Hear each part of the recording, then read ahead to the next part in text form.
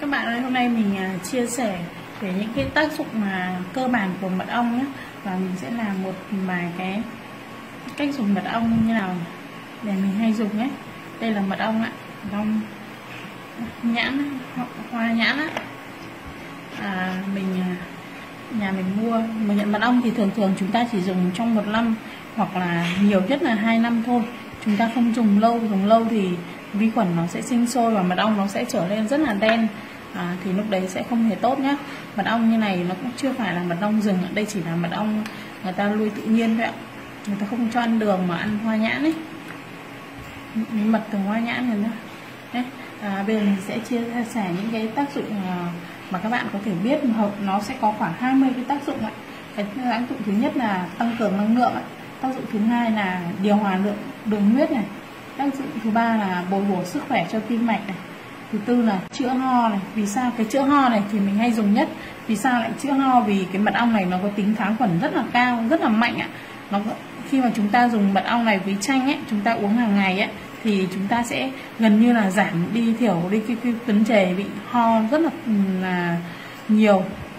Và gần như chúng ta sẽ phòng được cái bệnh mà ho hen suyễn. Và thậm chí là khi mà à, chúng ta dùng mật ong chanh nó còn hiệu quả hơn nhiều khi mà chúng ta um, dùng các loại siro ờ, ở ngoài hiệu thuốc vì cái phần phần thành phần của mật ong và chanh kết hợp với chanh ấy nó có tính kháng khuẩn cực kỳ mạnh ấy. và thứ năm là nó giúp chữa lành vết thương làm dịu vết bỏng sát khuẩn khi chúng ta mà à, bị bỏng chúng ta bị vết thương ấy ở trên tay trên cơ thể ấy, chân tay ấy chúng ta nên xoa một lớp mật ong mỏng lên trên và nó sẽ giúp chúng ta làm dịu đi cái phần là đấy và giúp ờ, cái phần da đấy nó sẽ nhanh lành hơn và sẽ không bị đau rát và à, sẽ lành rất là nhanh lành lành cái phần à, da bị tổn thương đấy. Và thứ sáu là tốt cho hệ tiêu hóa. Thứ bảy là tăng cường chất lượng giấc ngủ ấy. Vì sao lại tăng cường chất lượng giấc ngủ? Như lần trước mình đã chia sẻ một cái video rồi ấy là uống chanh đào à uống, uống chanh với mật ong ấy ấm ấy thì rất là tốt khi mà chúng ta à, có một giấc ngủ ngon ấy. Nghĩa là khoảng 8 giờ chúng ta uống và đến tối khi mà chúng ta đi ngủ ấy thì à, khoảng 10 giờ chúng ta đi ngủ ấy, thì giấc ngủ chúng ta rất là ngon rất là tốt ấy khi mà chúng ta uống cái loại à, nước này. Thứ bệnh à, thứ tám là ngăn ngừa cái phần khi mà chúng ta mà muốn ngăn ngừa cái bệnh ung thư ấy thì chúng ta cũng nên uống cái nước chanh mật ong này. À, và chữa đau dạ dày nữa. Chữa bệnh đau dạ dày. Là thứ chín nhé thứ 10 là chữa bệnh.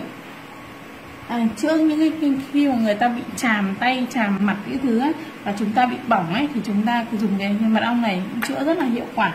Vì trong khi vitamin C trong uh, mật ong ấy nó sẽ uh, giúp chúng ta tái tạo được cái à, lớp da mới và làm cho cái vết chàm vết bỏng ấy nhanh chóng lành và mờ sẹo thâm ấy.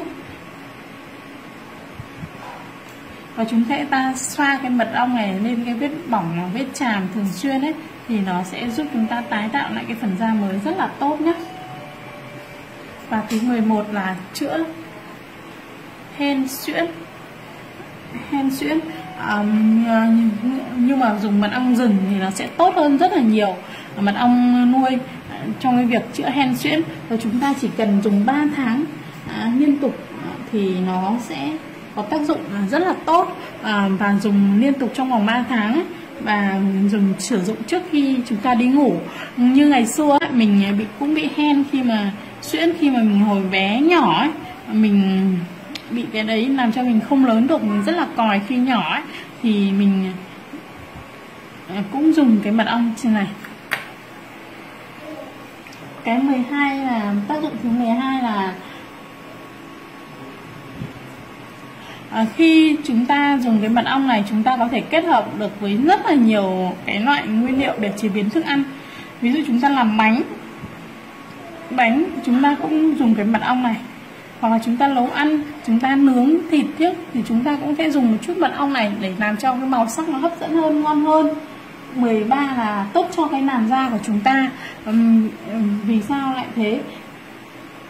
Vì nó chống khuẩn này chống lấm cao này nuôi dưỡng cái làn da của chúng ta khỏe đẹp này thâm nám này xuất hiện trên da cũng nhanh chóng bị đánh bật khi mà chúng ta dùng cái mật ong này nhá. Xoa lên nhé và 14 là làm cho sáng da trị trị thâm.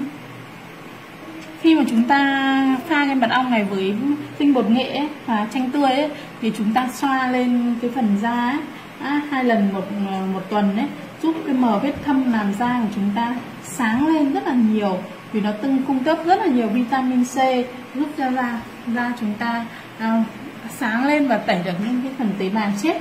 Cái 10 năm nữa là à, cái mật ong này nó cũng giúp da chúng ta chống khỏi các tia cực tím U, UVA, UVB và cái 16 là đấy như mình nói là nó sẽ làm cho da chúng ta sạch hơn tẩy được cái tế bào chết và tái tạo ờ, tế da mới. 17 nữa là tác dụng giảm cân rất là tốt. 18 là khi mà chúng ta mật ong này được ứng dụng để với một số loại à, dược liệu những thứ để làm những cái bài thuốc và làm những cái loại mỹ phẩm để chăm sóc da rất là hiệu quả. Và cái 19 nữa đấy nó khoảng gần 20 cái tác dụng. Cái 19 nữa là nó ngăn ngừa rụng tóc rất là tốt ạ. Và cái đơn giản nhất là chúng ta kết hợp cái mật ong này với chanh là chúng ta có thể là có cái thức uống mà nó điều trị được rất là nhiều bệnh. Và những người mà bị sỏi thận như mình ấy à, cái với mỗi ngày cần phải uống một cốc à, nước chanh à, loãng khoảng 200 ml thì mình à, đến 300 ml thì mình thường thường là mình cho khoảng một thìa cà phê nhỏ nhỏ như này thôi. Mật ong với nước cốt của một quả chanh nhỏ hoặc là nửa quả chanh to và mình pha với 200 ml nước ấm và mình uống vào buổi sáng. Đó, trước khi ăn sáng thì nó giúp cho cái ờ, làm cho mình cái thận của mình nó khỏe hơn ấy. Nó sẽ chống được những cái cặn bã trong cái thận nó đi ra hết ấy, để cho thận của mình nó sạch hơn ấy để đấy thì là mình hay dùng như vậy. À, vậy à, còn ngoài ra để phân biệt được mình nói một vài cái ý nhỏ đó phân được mà biệt được cái mật ong này nó là thật hay giả thì cái mật ong như thế này các bạn đậy kín lại. Các bạn cho vào ngăn đá tủ lạnh khoảng 2 tiếng. Khi mà chúng ta, bạn, các bạn bỏ ra, thì nếu mà nó bị đông cứng và nó nó hoặc đông một nửa, hoặc đông một phần mà các bạn nhìn thấy nó như kiểu là đường nó đóng đông ấy, thì là đến là mật ong người ta nuôi bằng đường, hoặc là mật ong giả làm từ đường. Hoặc là nếu, hoặc cái cách thứ hai để phân biệt mình hay dùng là các bạn cho cái mật ong này này vào một cái cốc nước. Bạn thấy mật ong nó tan ra luôn, đấy là mật ong đường. Còn nếu mà cái mật ong này nó lắng xuống dưới đáy nước, đáy cốc nước thì đấy là mật ong thật nhá. Là mật chứ không phải là mật ong giả nhé đấy là mình chia sẻ những cái công dụng rất là tuyệt vời từ mật ong nhé nếu các bạn thích thì hãy xem cái video này để chúng ta biết thêm nhiều cái tác dụng của mật ong nhé đối với sức khỏe và con người nhé xin chào và hẹn gặp lại các bạn.